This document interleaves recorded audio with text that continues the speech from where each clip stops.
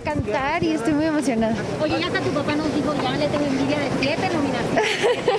No, pues yo, ¡Ay, bebé, adiós, Ángela!